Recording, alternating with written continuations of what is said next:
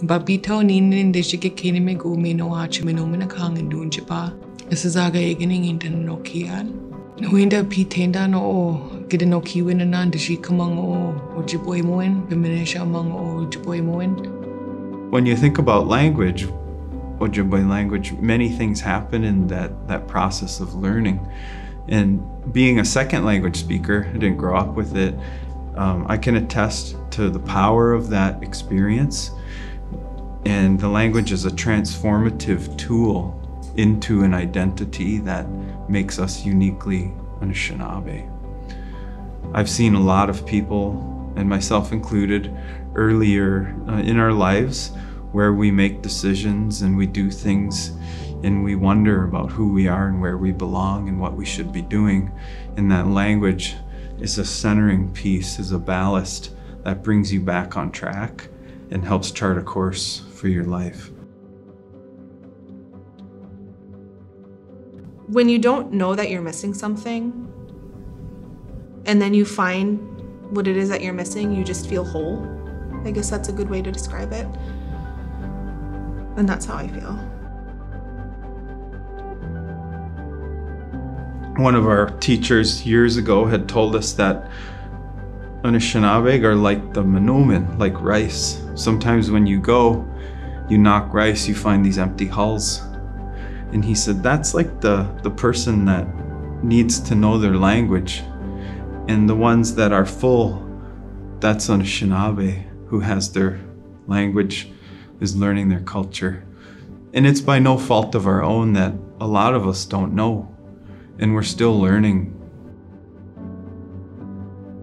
I believe, and I and our community believes that language and culture will lead to well-being. Um, that language and culture can improve how how we view ourselves, and that in turn will change the way we or improve the way that we take care of ourselves.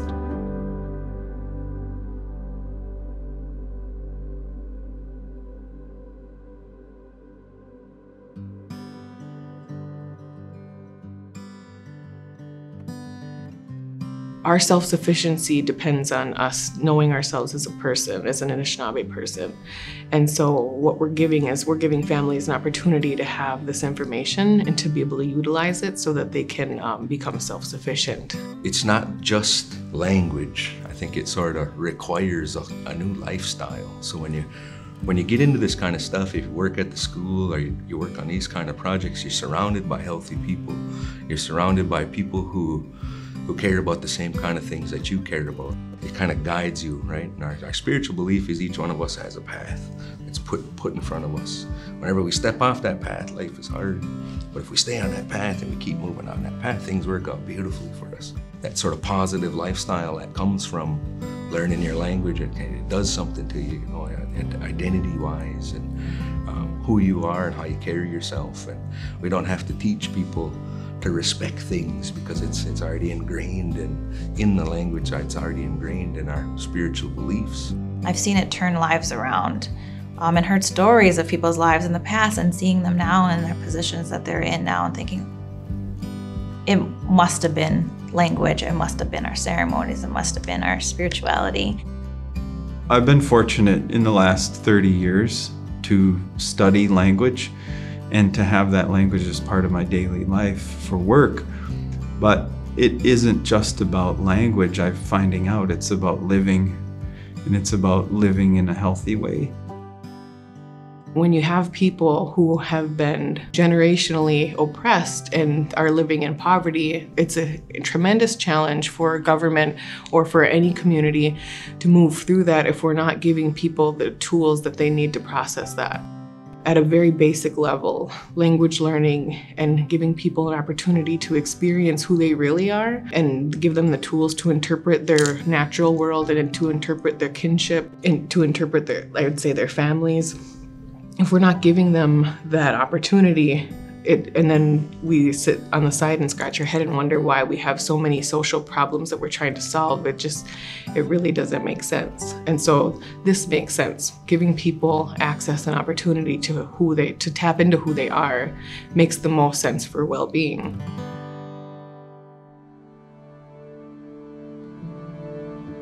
I teach kindergarten and I see with my students, they come in, many of them have parents that are interested and maybe are learning some Ojibwe at home from their families. But a lot of them, it's something new and something where their parents feel like maybe they missed having and they want their children to have it.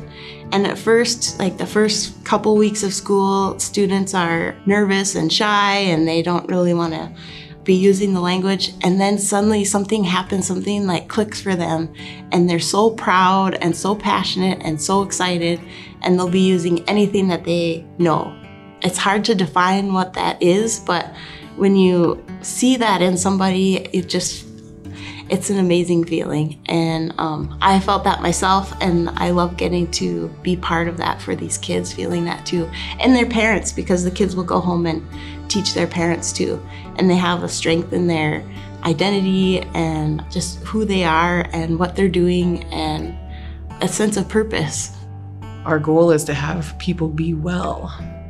And the thing about identity is that when our identity is compromised and our ego is attacked and our ego is shaped by by society and things that we see in the media and things that we see on so- social media we have a skewed sense of self just with those external things right?